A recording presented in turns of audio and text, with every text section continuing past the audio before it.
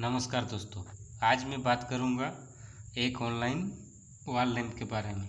उस लैंप का नाम है Somi lamp glass decorative wall lamp with fitting and fixer white colour का है।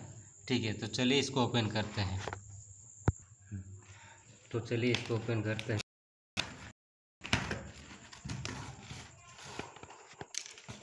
इसमें बहुत पहले वो ग्लास वाला है, इसलिए कागज़ उगज बहुत सारा दिया हुआ है।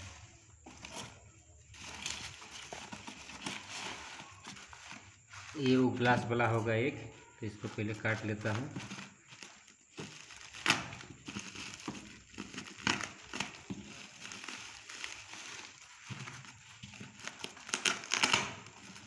दो पीस ऑर्डर किया हूँ तो चार सौ सत्तर रुपया ऐसा कुछ अमाउंट है तो उसका टोटल हो जा रहा है। नौ सौ चालीस रुपया।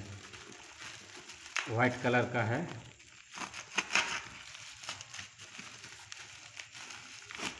इसको पूरा खोल लेता हूँ। पीस से निकल गया है और फिर एक पेपर दिया गया है इसका डिटेल से। और बाकी सब ये है। ये एक का है और दूसरा ये है। तो चलिए इसको फिटिंग करके बाकी और कुछ नहीं थर्मोकल भरा हुआ है। और कुछ नहीं है। अब इसको फिटिंग करके चेक करते हैं। जैसे इसमें डिटेल्स दिया हुआ है, सारा चीज़ जैसे Somil glass decorative wall lamp ठीक है, नौ सौ चालीस रुपया आप इसको फिटिंग करके चेक करते हैं। जैसे ये कवर है इसका, ठीक है, और इसको वॉल में हैंगिंग करने के लिए और इसमें होल्डर दिया हुआ है, ठीक है, ये इसमें फिक्स किया गया है। इसको किस तरह से फिक्स करना? बस इसमें कुछ नहीं। केबल इसमें दिया गया है टू कोर का, ठीक है? इसमें क्या कुछ नहीं करना है? नॉर्मली जो हम लोग का बाल्ब होता है, वही लग जाता। है थ्रेड वाला नहीं है। इसमें लगा दीजिए इस तरह से। इसको फिक्स कर दीजिए। बस। उसके बाद आपको इस तरह से ला हैंगिंग करके लगाना है तो लगा सकते हैं। अगर नीचे करके लगाना है तो नीचे भी करके लगा सकते हैं। और इसको इस तरह से यहाँ टाइट करके लगाना है। जैसे यहाँ पर दिया हुआ रहता है एक वाशर तो इसको इस तरह से डाल के यहाँ पर टाइट कर देना है। जैसे यहाँ पर लगा दिया हूँ, ठीक है, और इसको बैक साइड से इसको टाइट कर देना है। जैसे हमको नीचे इंस्टॉल करना है, ठीक है तो नीचे इंस्टॉल करना है तो इस तरह से रखना है, ठीक है, और इसमें जो ये है, आपका दिख रहा है, इसमें उधर पे अगर आपका सर्कुलर है, जे भी छोटा वाला बॉक्स जो है उसमें एक स्क्रू मार देना है या नट बोल्ट लगा कर टाइट कर देना है, फिर उसमें हैंगिंग कर दीजिए, ठीक है?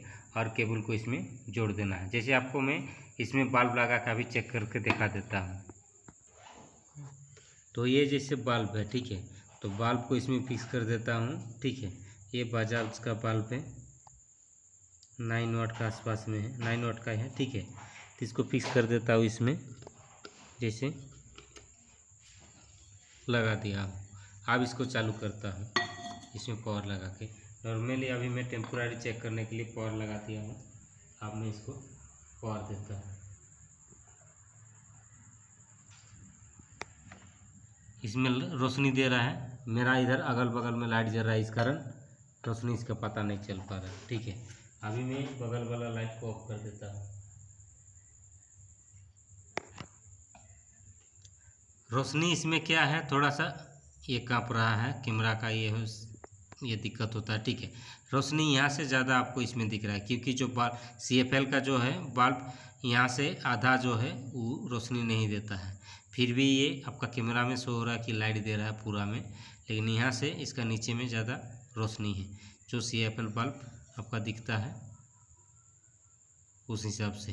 तो इसमें क्या है? ये लगाने से आपको जो आँख में एलईडी अगर बल्ब है, जो अगर आप नज़र उसमें डालते हैं तो ज़्यादा आँख को थोड़ा धुंधला कर देता है तुरंत। तो इसमें जो रोशनी है, वो कम कर देता है, ठीक है, इसको लगाने से। यही इसका फ़ायदा है और इसका चार सौ सत्तर रुपया दाम है। ये दो पीस ऑर्डर किया गया है। एक किसी का रूम पे इंस्टॉल करना है, ठीक है, और इसका डिस्क्रिप्शन में मैं लिंक डाल दूँगा। अगर कुछ भी जानकारी चाहते हैं और भी मतलब इलेक्ट्रिकल के बारे में और भी साझा करते रहेंगे। जुड़े रहिए। धन्यवाद।